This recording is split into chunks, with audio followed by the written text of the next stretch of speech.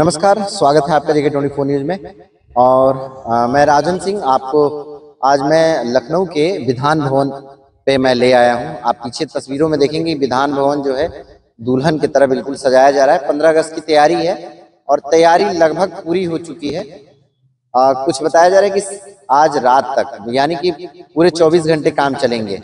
पीछे जो तस्वीर आप देख रहे हैं पूरी जो है इस पे अब जो है आ, बाँस की पूरी लगाई गई है और इस पे अब ऊपर जो है, जो चादर और टीन जो लगा रहे हैं, आप पीछे तस्वीरों में देखेंगे कैसे ये बनाया जा रहा है। तो इस तरह से एक तरफ़ तो बन गया है, दूसरी तरफ़ की तैयारी जो है, और लगभग जो है आज बताया जा रहा है कि रात भर में जो है बन जाएगा।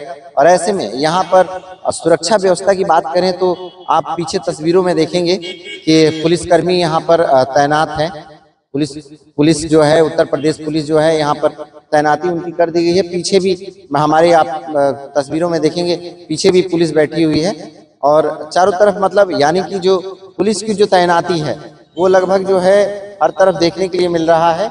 और आज और कल का समय है, जो कि विधान भवन के आगे जो परेड होता है, आप उत्तर प्रदेश की तस्वीरों में देखते हैं कि जो परेड होता है, वो यही वो रास्ता है जहाँ पर परेड होता है। और एक जिस तरह से दिल्ली में होता है, उसी तरह उत्तर प्रदेश की राजधानी लखनऊ में ये विधान भवन है और विधान भवन के सामने जो है, परेड होगा, यहाँ पे झांकियाँ निकलेंगी, स्कूल के बच्चे आएँगे, यही वो रोड है जहाँ पर अभी बनाया जा रहा है विधान भवन मार्ग है गेट नंबर तीन के आगे जो है, ये पूरी तैयारी जो है, लगभग जो है पूरी होने के जो है, अंतिम पड़ाव पे है। आज रात की जो, रात भर जो काम चलेगा तो अगले दिन जो है लगभग लगभग पूरी तैयारी मिलेगी और ऐसे में यहाँ पे सुरक्षा व्यवस्था की बात करें तो चारों तरफ़ जो है सुरक्षा व्यवस्था तैनाती कर दी जाएगी। हर तरह के फोर्स यहाँ पे लगाए जाते हैं। लखनऊ के सिविल पुलिस के साथ साथ एटीएस कमांडो और तमाम तरह के कमांडो और कई फोर्स यहाँ पे तैनाती की जाती है क्योंकि यहाँ पर योगी आदित्यनाथ के साथ साथ जो उत्तर प्रदेश के मुख्यमंत्री हैं और तमाम यहाँ पे नेता और वीआईपी यहाँ पर आना होता है। वीआईपी के परिवार यहाँ पे आते हैं, स्कूली बच्चे आते हैं। तो किसी भी प्रकार से अब सुविधा ना हो अप्रिय घटना ना हो उसके लिए पुलिस की तैनाती और यहाँ पर बिल्कुल सुरक्षा व्यवस्था जो है चुस्त दुरुस्त कर दिया जाता है। अभी मैं आपको ये तस्वीर दिखा रहा हूँ लखनऊ का विधान भवन है। विधान भवन के आ, सामने की जो तस्वीरें हैं मैं दिखा रहा हूँ। विधान भवन को बिल्कुल तिरंगे से दुल्हन की तरह सजाया जा रहा है। आप पीछे तस्वीरों में देखेंगे। और पूरी जो है आज रात तक पूरी तैयारी हो जाएगी विधान भवन। देखिए तस्वीरों में मैं दिखा रहा हूँ। तिरंगे से सजाया गया है पूरा।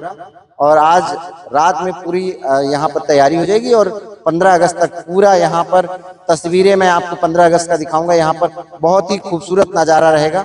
आप देखेंगे तो बिल्कुल आपको आश्चर्य लगेगा कि ये जो यहाँ पे जो व्यवस्था है, बिल्कुल चार चाँद कर दी जाएगी और व्यवस्था, सुरक्षा व्यवस्था के साथ साथ जो तैयारियाँ, जो यहाँ पे झांकियाँ निकलेंगी और तमाम तरह के फोर्स जो है अपने साथ पैरामिलिट्री जो निकलेगी, वो काफ़ी जो है अच्छी तस्वीरें लगती हैं। यहाँ पर बहुत सारे भीड़ जो है, इकट्ठा होते हैं और बैरिकेटिंग लगता है। उसमें लोग जो है यहाँ पर आते हैं। बैरिकेटिंग पास बनता है, पास जिसके पास रहता है, वो यहाँ पर आ पाता है। नहीं तो दूर से ही देखते हैं बैरिकेटिंग के बाहर से। तो मैं फिर आपको 15 अगस्त को दिखाऊँगा यहाँ की तस्वीरें। तब तक के लीजिए दीजिए मुझे इजाज़त। लखनऊ से कैमरा पर्सन के साथ Rajan Singh twenty four into seven news